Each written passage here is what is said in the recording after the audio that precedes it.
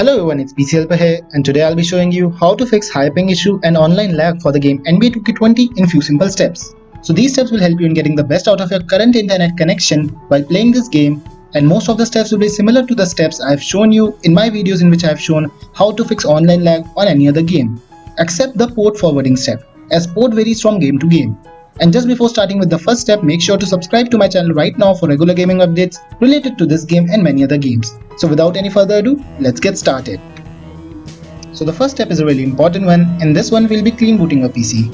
So what clean booting does is, it refreshes all the components of your PC and helps in resolving any software conflicts in your PC too. So if you don't know how to clean boot your PC, I've already made a 4 minutes guide on how to do so. So make sure to watch this video. I'll provide you the link of this video in the description of this one. So make sure you watch this video, clean boot your PC and then proceed to the second step. It's a really important step. Make sure to clean boot your PC first. Second step is again a really important one and it really helps a lot of users. What you have to do is search for CMD and go to a command prompt and here search for ping. Not search, you type ping 1.1.1.1 and press enter. Now let it calculate the average ping value for you and here it is, it is 9 ms for 1.1.1.1 and now search ping space 8.8.8.8 and press enter. Let it calculate the value for this one.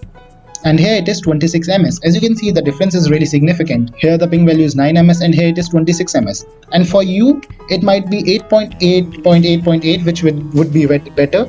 In my case it's 1.1 so whichever is better for you you have to change to that dns value. Now i'll show you how to change your dns server. Now search for network and go to view network connections.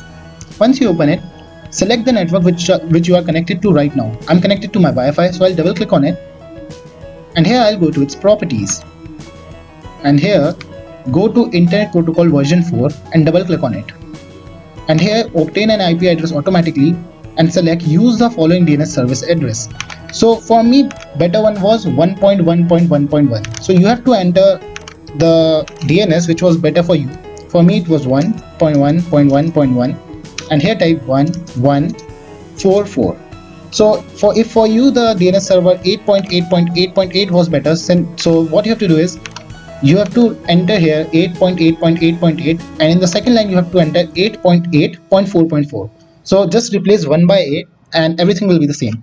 Click on OK, click on OK again and close this. It will surely help you in getting better ping and resolving any online lag issues. Now let's proceed to the third step. So in the third step, we'll be forwarding ports. So first we have to know what ports are used in the game NBA 2K20. So Google NBA 2K20 ports and go to this first link by portforward.com. And once you'll click on it, you will be redirected to this page. Scroll down and go to NBA 2K20 Steam. It means for PC. And here you can see TCP and UDP ports. Now what you have to do is, you have to search for firewall and go to Windows Defender Firewall with advanced security and once you're here you'll see a screen and here you have to go to inbound rules. And here you have to create a new rule. And in new rule you have to select port and click on next. And here you have two options TCP and UDP so first let's select TCP and copy everything in front of TCP port. Copy everything here. So if you don't want to visit this website I'll provide you this in the description both the TCP and UDP ports in the description. So you can just copy it from the description of this video so once you have copied them, paste them here, click on next, allow the connection, click on next, select everything here, domain, private, public, next, and give it the name NBA 2K20 and finish. Once you have done it, create another rule. Here select port, click on next, now select UDP this time. And select everything in front of UDP and copy it. Once you have done it, paste it in front of specific local ports, paste it here, click on next, allow the connection, domain private public everything should be selected, next and give it the name NBA 2K20 and press enter. And once you have done it, you have done port forwarding. I will surely help you in reducing any kind of online lag in this game and will help you in getting the best out of your internet connection for this particular game. So it will surely help you but if you are still facing this issue then proceed to the last step. This step will be flushing DNS and later I'll refer you some videos which might help you in improving your PC's overall gaming performance. So first go to your command prompt again and go to command prompt and here search for ipconfig ipconfig space slash flush DNS. Once you have typed this, press enter and you can see successfully flushed the DNS resolver cache. Once you have done it, your DNS has been flushed and if the first three steps didn't work for you, it will surely help you. Once you have done it and you're still having some lagging issues and not because of your internet connection but because of your PC specification, then what you can do is you can download a game booster and the game booster I recommend is Razer Cortex Game Booster and it is not a paid promotion at all. It is just my personal experience that I find Razer Cortex to be the best one.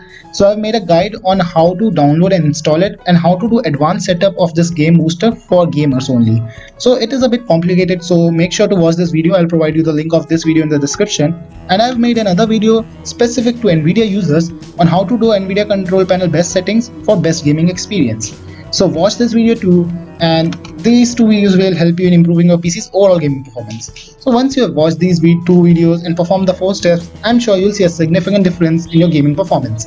So I hope this worked for you. If this worked for you, please leave a like. Also don't forget to subscribe for more. Thank you and have a nice day.